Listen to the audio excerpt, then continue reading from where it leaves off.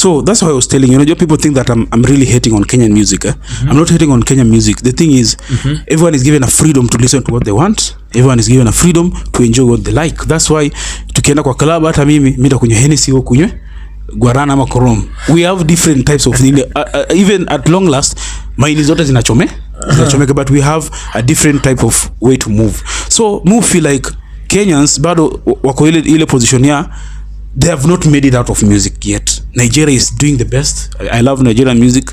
Tanzania ndo hao wanajikaza. Umeona sahii ngoma ina trend sahii hii ya nani ya diamond hii. Umesikia hiyo? Mm-hmm. ukifungua tu redio hivi kidogo tu kuna mahali volume. ukipanda kwa mahali. hiyo ngoma. Eh, unaona? That song is like everywhere manze. Na imefika pale ati bahati saa amejitokeza eh, ati anajifanya ati eh, kenyans we need to try and support kenyan music. Me, why should i support music which I, i don't like? You don't like kenyan music? Why, why should you support music that you don't like? That's what i'm asking Mm. if you don't like it if it's not good if it's not good enough in your in your, in your to, for you to but listen it's to good. it. Music ya kenya iko poa sana. Wewe niambia music yenye unabambikanga niambia music ya Kenya yenye inapigwa kwa club unasikia fiti.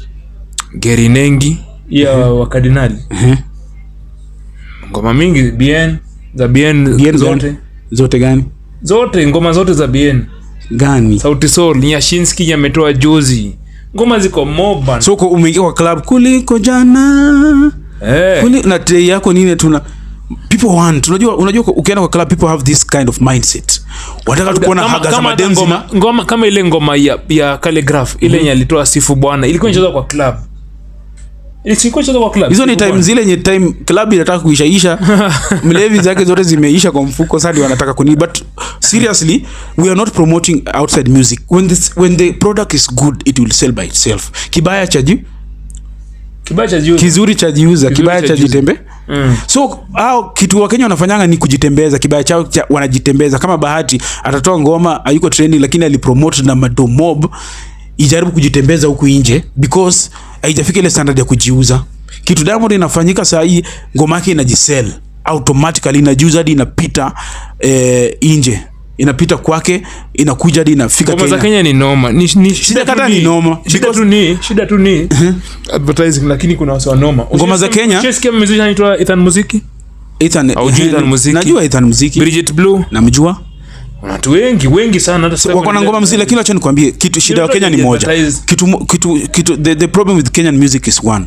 They are not singing, singing timeless music hapana ziko timeless bana. Zi, ngoma za Ni Kenya advertising- mingi. mimi nakwambia ni advertising ndio shida peke yake kwa Kenyan music na kitu nimesema mara mingi sana ni advertising peke yake.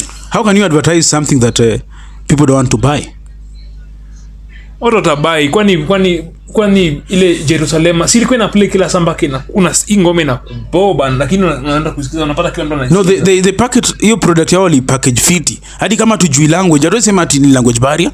Ndio kiwa Kiswahili bado tutaenda unaona wali package hiyo ngoma fiti unaona sisi tukaanza kuimba na hiyo language yao. So mimi na feel like Kenya music wanafaa wakae chini waunde nini. Kitu ina, ina, ina, ina Kenyan artist ni moja. Hawajui kuunda brand na hawajui kuunda music na brand. Yani musician na brand yake they are two different type of things. Number one bahati tu. Si heton on bahati nasema. Anaimba fit. Bahati i enjoy uh, his music. Anajua kuimba fit. Akipata pia line zake atakaye uiba anajua kuzi kuzi kuzi, kuzi fit. Shida bahati ni moja. Vitu hufanya saa zingine hazini make sense unaona bahati eh, sijui na bibi yake wanafanya nini? I don't know they're trying to portray. Mara juzi amekopi content ya mse wa majuu sijui ati vile yani eh, wase ukibeba Oh, de eh, amekopi hiyo content anatafuta kitu kingine anakopi sijui ana- anashikashikaje bibi yake kwa bed. Yani is yani if the product and what is inside unaona kuna wale wanakuwa na packaging. Ukiangalia packaging eh inakaa fit ukifungua ndani ukiangalia ndani ni nonsense.